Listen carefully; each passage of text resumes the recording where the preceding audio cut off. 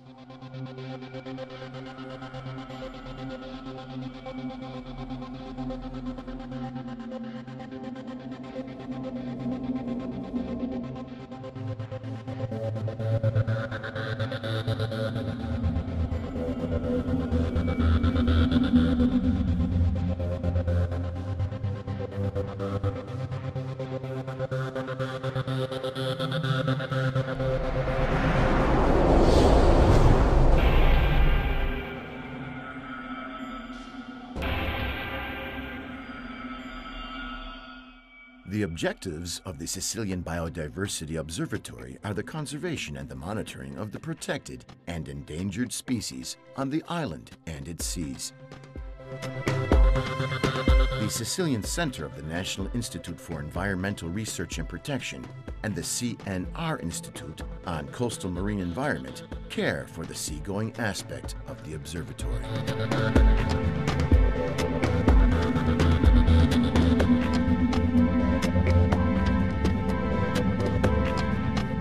Biodiversity of the Sicilian marine waters represents an immense naturalist, cultural, scientific, and economic patrimony for Sicily and plays a relevant role in the ecology of the entire Mediterranean basin.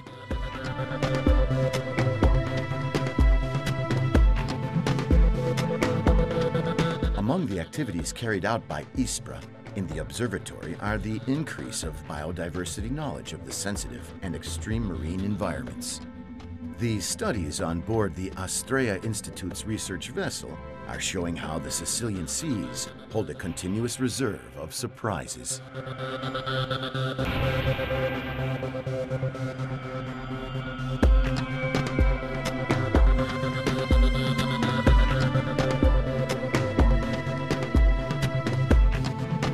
The Strait of Sicily hides a surprising biodiversity in its vast undersea world, known as the Banks, still relatively unknown from an ecological point of view. The banks are undersea mountains that rise up from the bottom, almost to the surface. For this reason, they gather together a very rich sea life, including a lot of protected species, and some of them are still uncontaminated.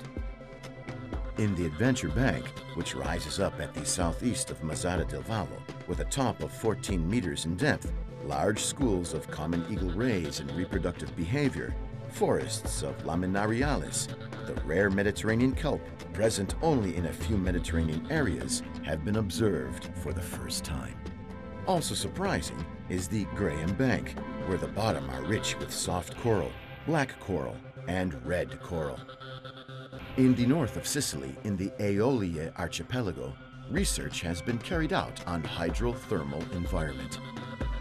In the sea bottom near the island of Panarea, between 100 and 300 meters deep, a vast area of volcanic activity has been discovered, which has generated numerous small volcanic chimneys, around which unexpected life has been observed, sustaining the hypothesis of a large microbial activity in the vents. Sicilian banks and marine volcanic environments play a fundamental ecosystemic role for the entire central Mediterranean Sea that needs, as soon as possible, protection strategies.